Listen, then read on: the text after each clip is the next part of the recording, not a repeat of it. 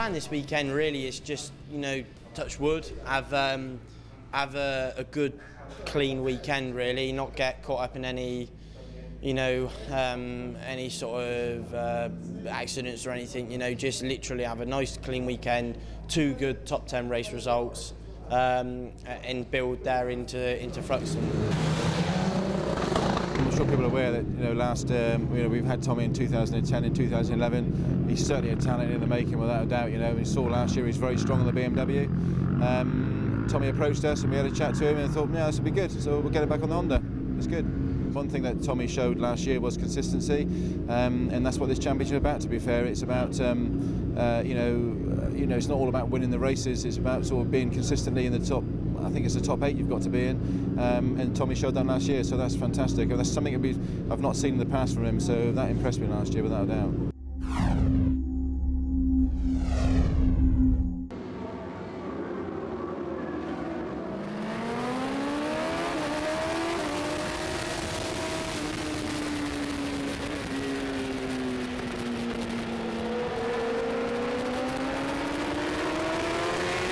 And look at number 46, yep. Tommy Bridewell, yep. fourth row of the grid on the yep. Batham's Honda. He's running seventh behind Ellison.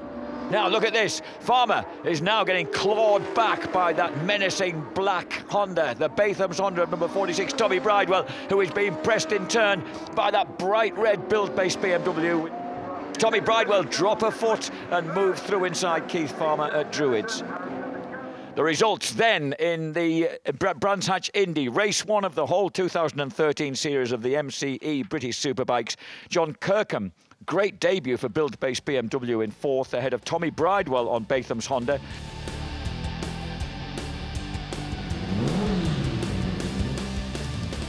Yeah, I know the first race uh, on the Batham's Honda was quite good, to be honest. Um, obviously, come from 13th to, to 5th, which uh, which is what I was sort of hoping for, to be fair. But um, we're still quite far away with the bike of how I how I want it. You know, uh, the team are, you know have worked really hard, and you know we're not a million miles away.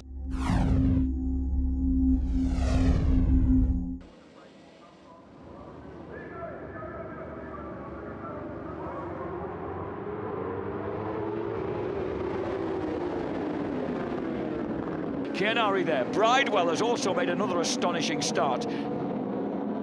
Yuichi Chianari back from Asian oh, duty. Oh, but he loses out. Was that, that Bridewell? Was Bridewell? That was Bridewell just leaving him aside there. Bridewell's, we're hearing that Bridewell's bikes so either smoking or blown up. There he is. So Tommy Bridewell in trouble with the Batham's Honda. He's pulled over on the uh, the number 46 black and white bike.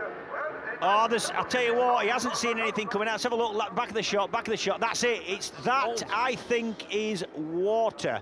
That's coolant because it just didn't have that intensity and blueness that you get with engine smoke. And he's uh, he's not doing the best of things, I don't think, touring around with something pouring out of his bike. He obviously doesn't know because he wouldn't do that. This is it. This is where it was. There's there's the Batham's Honda. Bridewell's off it. It's, it's definitely. I think it's it's popped. Probably a coolant pipe off. Disappointment then, visible disappointment from Sir Thomas George Bridewell, the second there, as he slumps down in his garage.